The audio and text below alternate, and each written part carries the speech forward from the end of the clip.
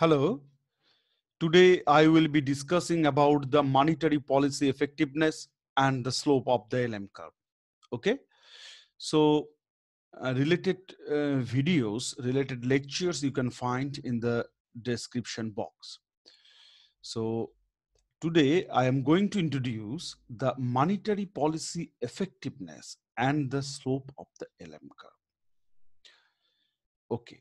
Now, now here, look, three figures are there. This is panel A. This is panel A, figure panel A. This is panel A. This is panel B. And this is panel C. Okay. Three figures are there. One is panel A, panel B, and panel C. Now, now look at the first figure, that is the panel A. Along the vertical axis, we measured the rate of interest in, in all the three diagrams. And along the horizontal axis, we measured the real income or real output. Okay, real output. Now, the there are there are there are three types of LM curve.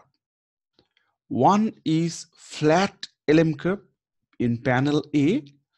We discuss about the flat LM curve, and in panel B there is steep LM curve. Okay, and in panel C there is vertical LM curve. So so depending on the slope of the LM curve, we try to explain the monetary policy effectiveness monetary policy effectiveness okay we try to try to uh, try to spread some light on the effectiveness of the monetary policy so this is the initial lm0 curve this is the initial equilibrium and this is the initial LM0 curve, and this is the IS curve, initial IS curve. That is the new equilibrium. Suppose this is this represents the initial equilibrium E0. Okay, initial equilibrium E0.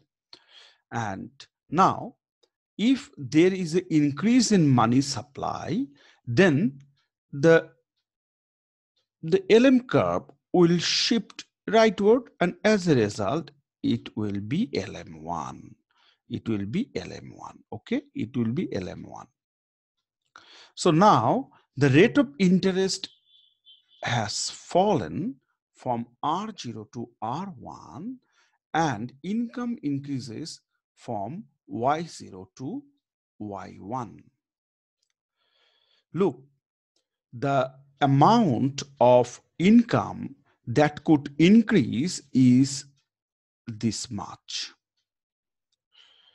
Okay, this much. And it is the amount del M del M by del M by C1. C1 is nothing but the sensit sensitivity of money demand to income it is the sensitivity of money demand to income C1. So this is the total amount of income that could increase as a result of increase in money supply. Okay. So, but, but what happens? But what happens? Income increases just this much. Income increases that this much amount income is increased because of the slope of the LM curve. Here, the LM curve is interest elastic.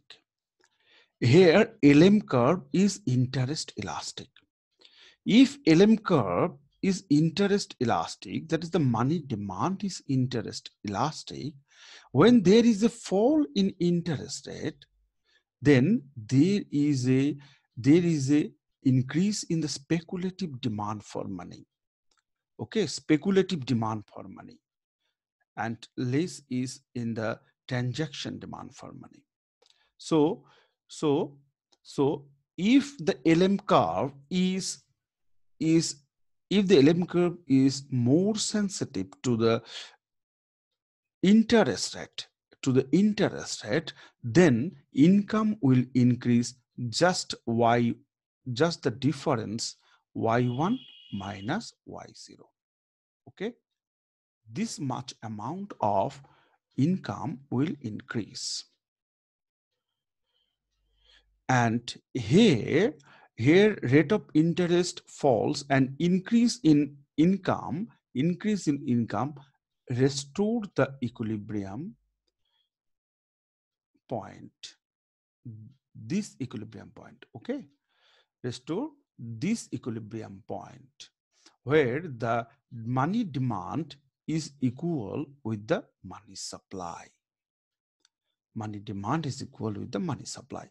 Okay now now if look at the panel b figure where where the lm curve lm curve the demand for money is less interest elastic.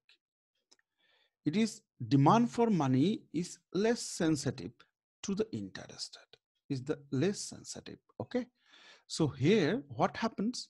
The rate of interest as there is an increase in the money supply the lm curve will shift to lm1 from lm0 okay?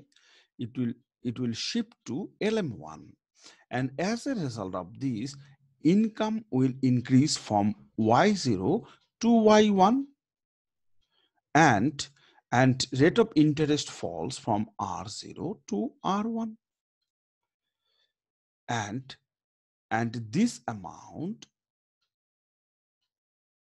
this amount that is the del m this distance represent the amount del m by c1 this much amount of income could be increased as a result of the increase in money supply as a result of the increase in money supply but here income increases y0 to y1 the reason is the same okay? What i have mm, said in panel mm, in panel a in panel a. So there is a decrease in the rate of interest as a result of investment increases. As a result of as a result of decrease in interest rate investment will increase and income will increase okay? Now now panel now panel c now panel c here the lm curve is vertical lm curve okay lm curve is vertical uh, and what does it mean it means that the demand for money is completely inelastic to the rate of interest. Completely inelastic. Demand for money is not sensitive to the rate of interest. So here, demand, here demand for money, speculative demand for money does not have a does not have a role to restore this this point, to restore this equilibrium point. Okay, to restore this equilibrium point.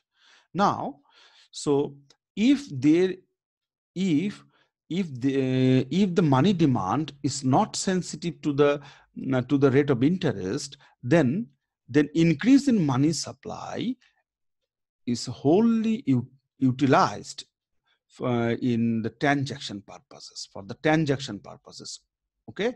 For the transaction purposes the whole money supply will be used.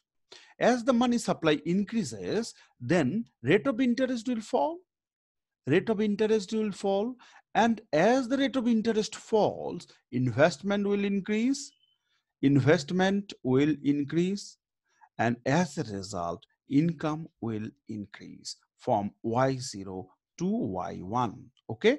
Income will increase from y0 to y1 now it should be mentioned one thing here is that the rise in uh, uh, none of the new none of the new money money is siphoned off okay is siphoned off as the increase in speculative demand as the interest rate falls.